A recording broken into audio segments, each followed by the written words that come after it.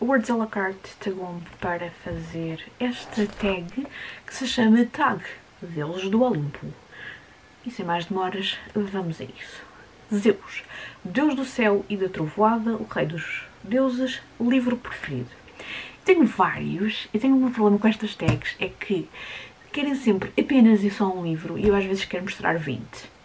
Mas hoje, para os efeitos de coisa, vou mostrar apenas um e é o Filho das, Flor Filho das Sombras, da Juliet Marillier, que é um dos meus livros favoritos de sempre.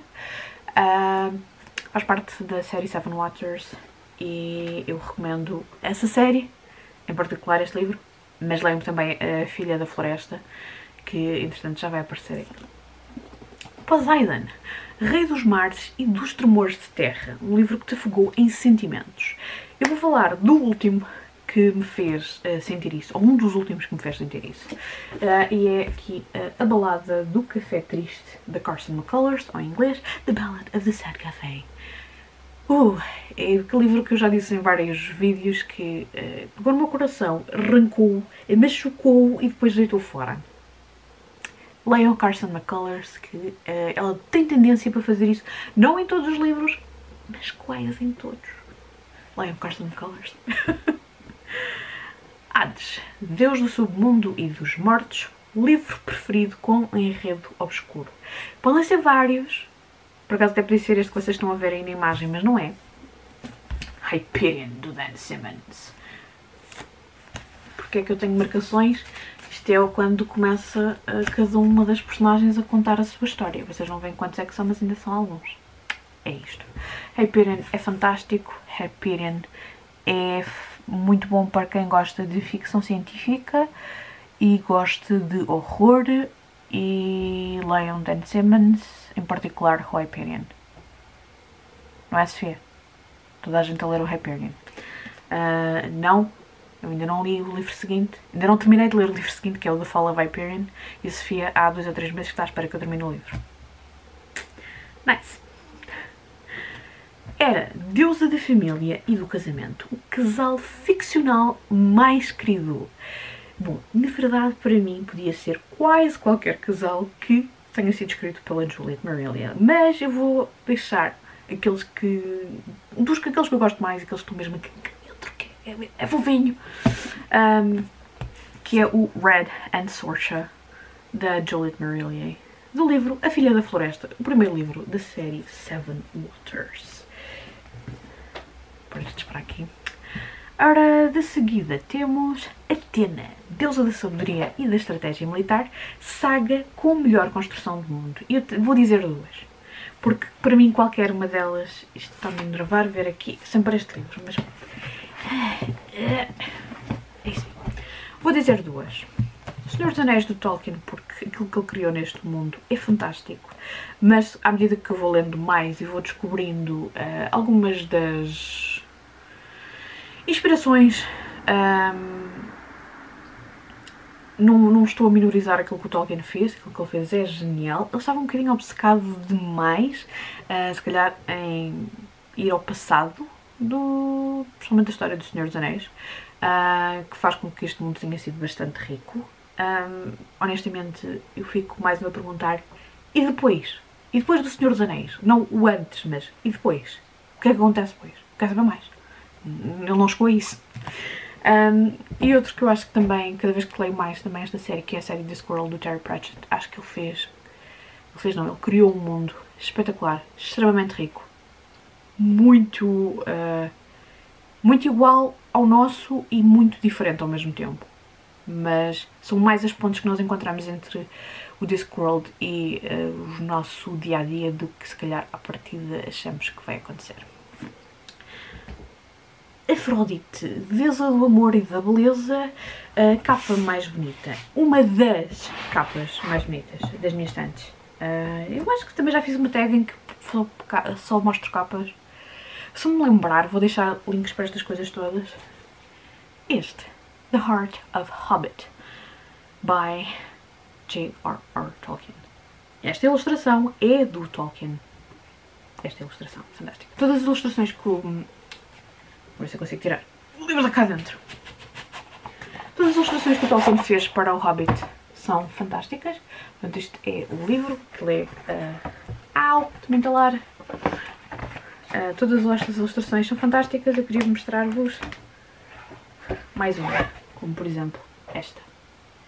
O problema é porque é que uma parte dos livros que vocês veem do, do The Hobbit não tem estas ilustrações, porque o Tolkien estava muito à frente deste tipo de ilustrações. Era impossível, estou a arrumar isto mal, era impossível de reproduzir na época em que o livro foi inicialmente publicado. Portanto, hum, é uma pena. Uh, adorava que o Senhor dos Anéis também tivesse ilustrações deste género, mas lá está, o homem ou escrevia ou fazia os desenhos, não dava para fazer tudo, porque ainda por cima dava aulas.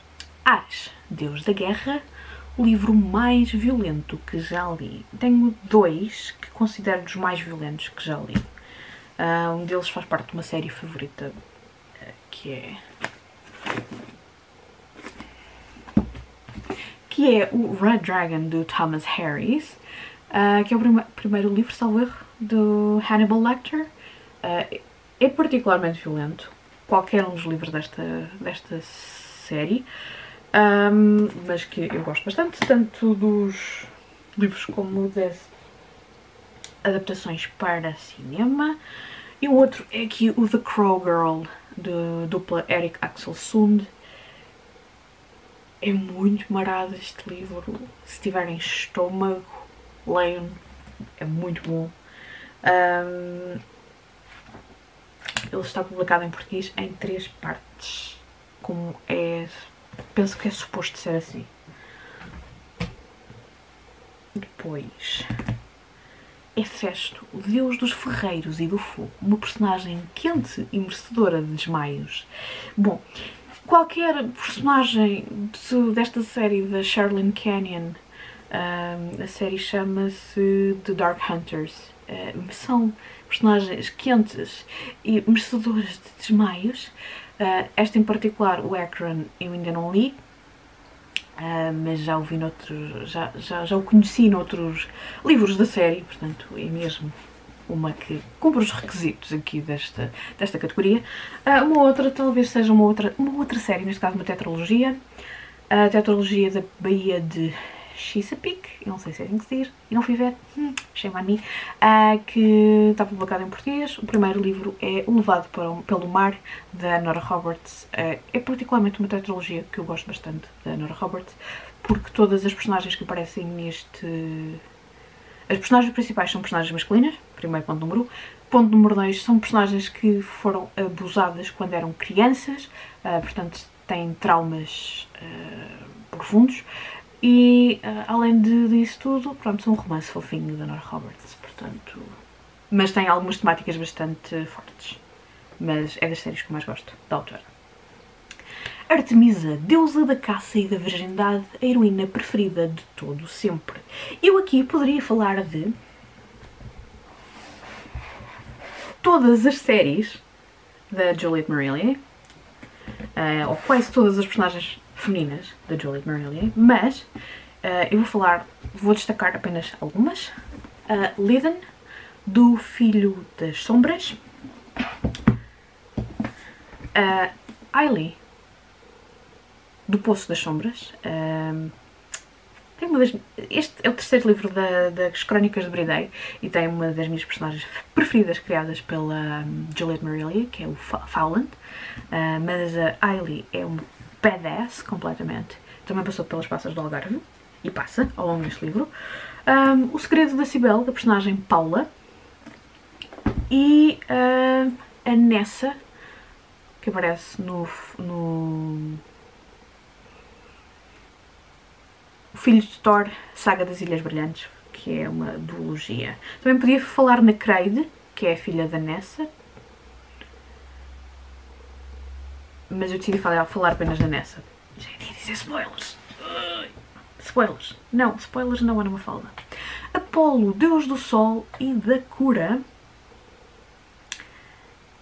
Uma sequela que redimiu uma saga. É... Não tenho nada para dizer, portanto seguimos para o próximo.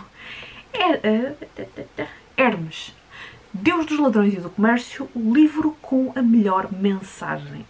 Esta, esta pergunta é uma pergunta sacana, porque depende sempre daquilo que nós queremos transmitir, mas eu vou recomendar o Words Are My Matter, de Ursula K. Le Guin, porque uh, é um livro para, que fala de literatura, literatura de género, e fala do papel da mulher. Portanto, tem coisas que podem interessar várias pessoas. De seguida, Demeter, deusa da fertilidade e da agricultura, melhor bookish setting. Eu podia responder O Senhor dos Anéis, mas na verdade eu vou responder é Terra-Mar, da Ursula K. Le Guin. Gosto imenso do mundo que a autora criou. Terra-Mar, deixa eu ver se isto tem mapa, eu acho que tem. Isto é terra-mar e é literalmente um arquipélago com variadas ilhas. Está genial. Uh, existem uma diversidade muito grande das ilhas uh, que nós, ao lendo os quatro livros, não conhecemos tudo. Se lerem os contos, conhecem um bocadinho mais. E falta-me ler o último livro, que é para, então, isto, rebentar a escala toda. É absolutamente fantástico. Última pergunta. Dionísio, Deus do Vinho e da Celebração. O livro mais antecipado. Eu tenho três livros que são bastante antecipados, que deverão sair este ano. Uh, se não houver agora atrasos por culpa destas coisas todas que andam a acontecer. Um deles é o próximo livro de Juliet Marillier, que é A Dance with Fate, que será, sairá em setembro e é a continuação do livro que saiu o ano passado. É uma nova série, é o segundo livro de uma trilogia que ela começou o ano passado. Um, em maio sai um livro do Stephen King que é o If It Bleeds. É um livro que tem quatro novelas do autor. Eu costumo gostar bastante das novelas dele. Vamos ver como é que estas uh, são. E por último é o Peace Talks do Jim Butcher, que é um livro de fantasia, faz parte de uma série que eu ando a ler já há bastante tempo. Uh, é o 16 livro uh, da série Dresden Files que se vocês gostam de audiobooks é uma ótima série para ler em audiobook. Eu vou tagar quem? Eu tinha escrito quem é que, que ia tagar. Não, não escrevi quem é que vou tagar. Hum, olha, eu vou fazer como noutras tags. Eu vou deixar na primeira linha ou na segunda linha da descrição quem é que taguei para fazer esta tag. Tenho que ver quem é que já fez e quem é que não fez. Um, e até o próximo vídeo.